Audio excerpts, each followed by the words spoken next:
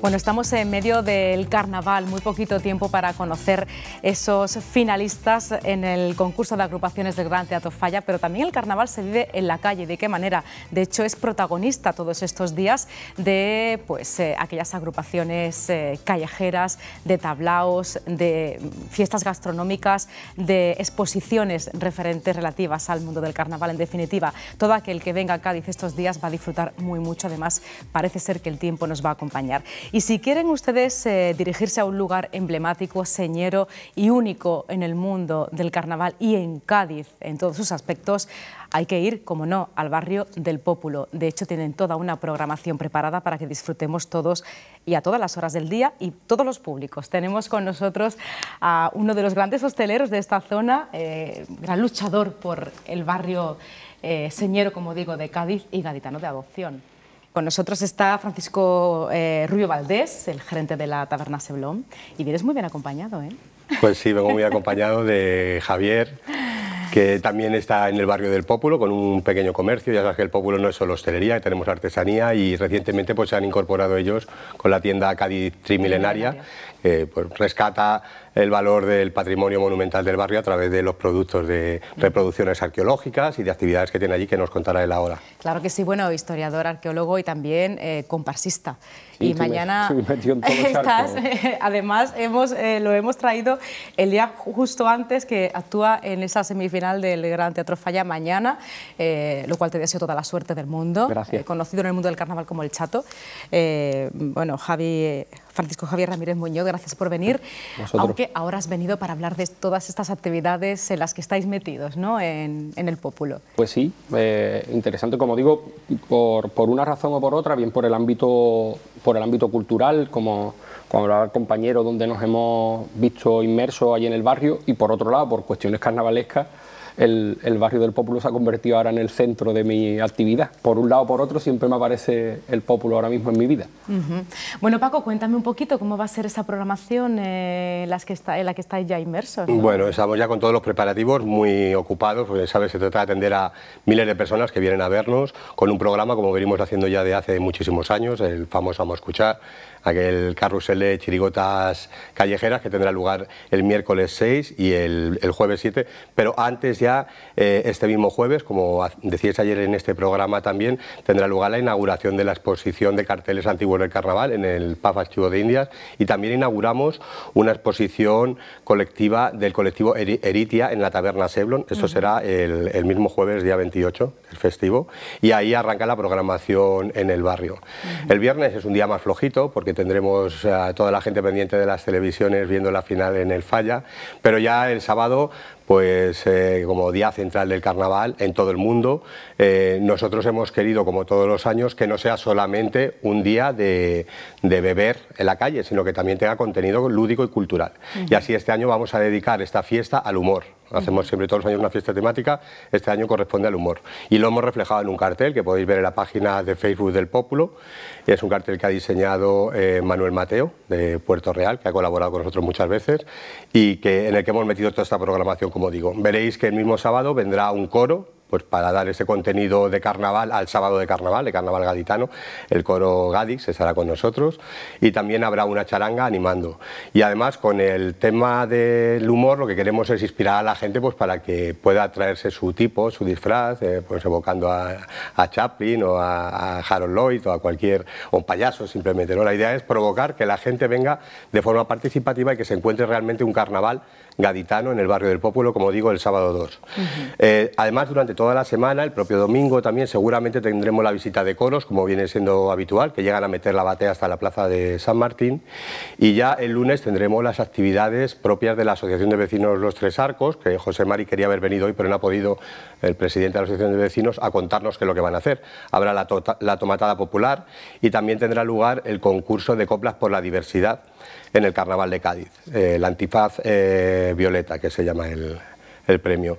El martes tenemos una cosa novedosa este año, que es un concurso de romanceros que vamos a llevar a cabo en el barrio del Pópulo y que además está teniendo una respuesta muy positiva por parte de los romanceros. Han inscrito ya más de 15 y bueno, estamos organizando todo pues para que el martes sea la noche de los romanceros y se les pueda escuchar. Que, por cierto, está muy de moda últimamente. ¿eh? Sí, Yo, por lo que escucho y veo en Cádiz, que está otra vez en auge. Y surgen muchos concursos también, fuera de la, de la capital también está habiendo concursos de romanceros. Entonces ha tenido muy buena respuesta y estamos intentando cuadrar tantísima participación en una sola velada, pero lo conseguiremos.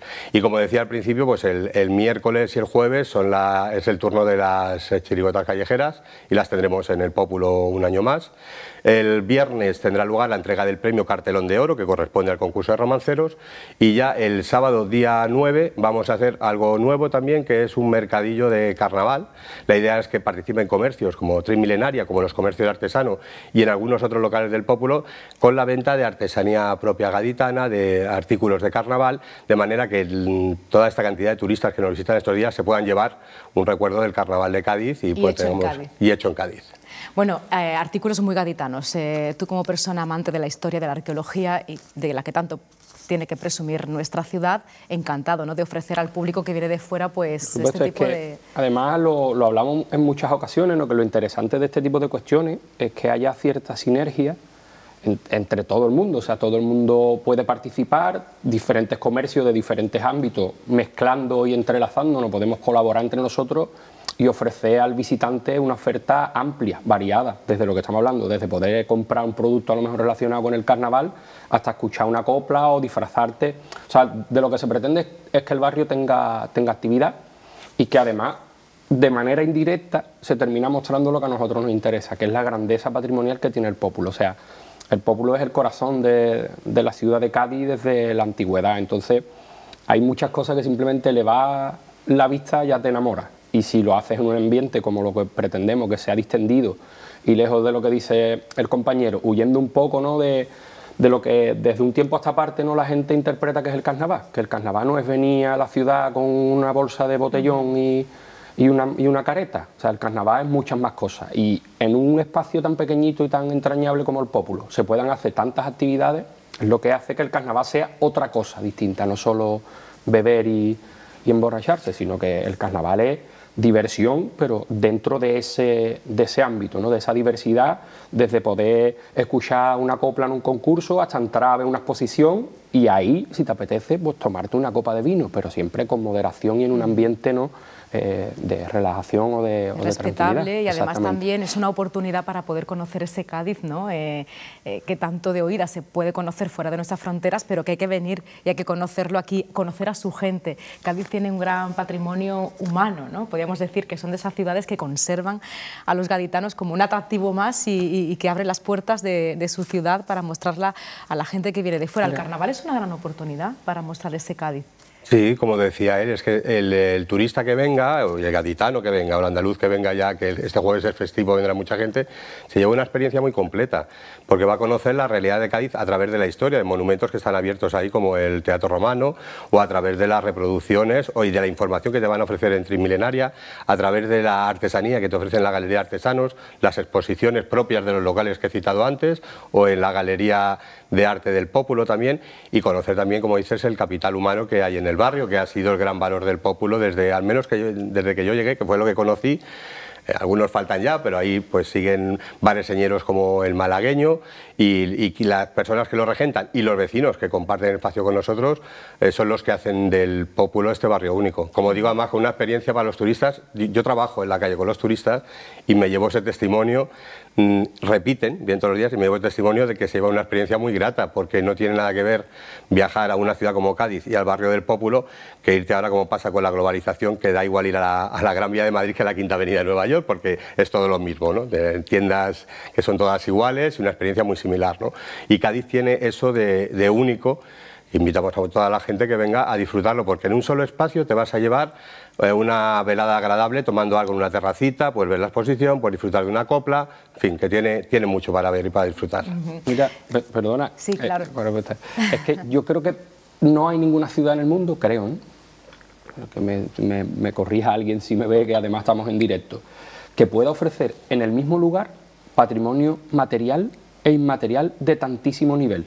Creo que no existe ningún lugar en el mundo que pueda mezclar y encajar ambas piezas. O sea, escuchar una copla de carnaval, que es patrimonio inmaterial, o un romancero, a los pies, por ejemplo, de un arco almohade, eso me parece que hay poco sitio, o como hablaba eh, en el teatro romano, o sea, en una esquina cerquita del teatro romano, escuchados cuplés riéndote, tomándote una copita de manzanilla y, a los pies de, un teatro romano del siglo I. Y que no es un decorado, insisto, porque allí hay gente de Cádiz que es la que te hace sentir que estás en una ciudad distinta que conserva esa pureza. El barrio del Pópulo tiene algo que es algo que deberíamos empezar a vigilar, por el tema de eso está muy tratado y lo, hablamos en muchas ocasiones con el, el, asunto de la gentrificación, de la turistificación.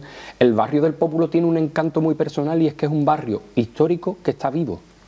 O sea, que es lo que estamos hablando, que tiene comercio, que tiene vecinos, que, que, tú sientes, yo estoy allí en, en, la tienda muchas mañanas, lo que sea, estoy intentando gestionar cosas, lo que sea, y pasa la típica vecina con su carro de la compra y te saluda, Javier, ¿cómo estás? y tal.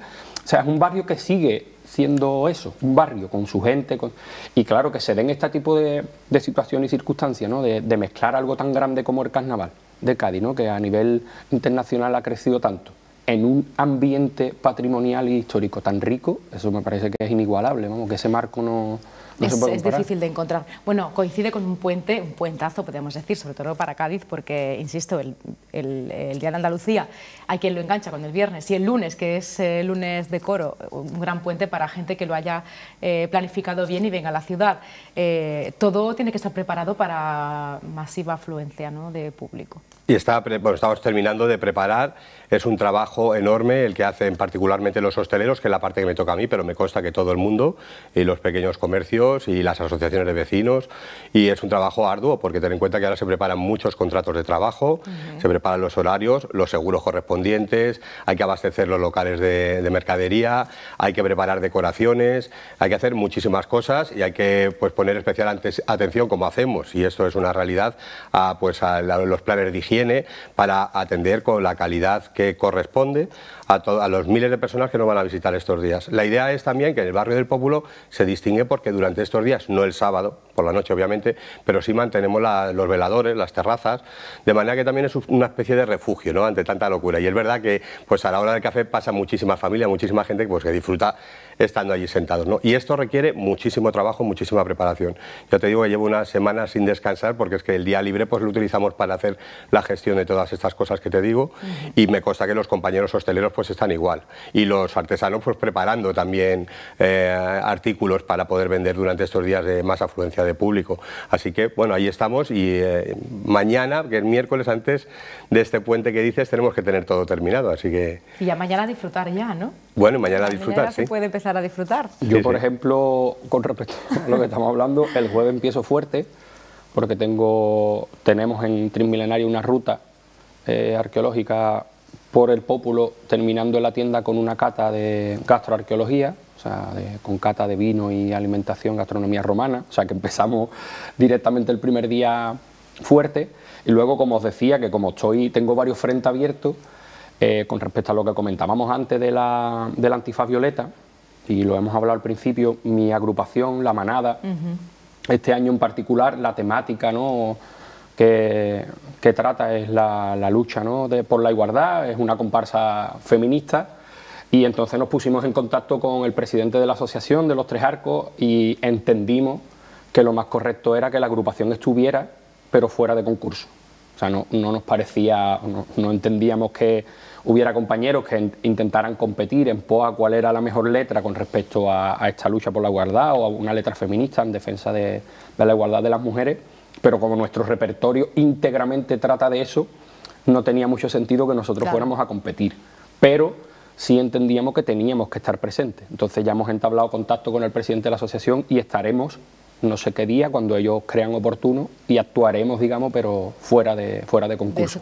Así que digo que el jueves empezamos con una ruta en el Pópulo y el lunes o el martes actuaré con la comparsa en el Pópulo. pues qué bien, en el Pópulo todo el tiempo, que es un sitio además mágico estos días. Y además, eh, bien dices que la temática de tu comparsa y de otras muchas, pues también tienen que tener ese punto reivindicativo que no puede perder el carnaval. Recordemos que el carnaval hay que utilizarlo precisamente para eso, para alzar la protesta, para decir lo que a veces no sabemos decir de otra manera y hacerlo con gracia, con humor, con ironía y bien dichas las cosas, ¿no? Y tú que no eres de Cádiz, pero eres gaditano, Eso te ha calado fuerte, ¿verdad? Me ha calado mucho y en el barrio del Populo además otro de los valores que tiene es la responsabilidad social con la que se actúa y la implicación de asociación de vecinos, de los hosteleros, en todos los temas sociales. Como sabéis es el punto donde se ha celebrado eh, la Jornada del Orgullo desde hace muchos años y donde también se llevan a cabo muchas iniciativas en este sentido, ¿no? como es esta de la Antifa Violeta. Así que también hay una implicación en lo social, no solamente en lo comercial, ¿no? y, y eso es un gran valor, eso te demuestra que también es un un, barrio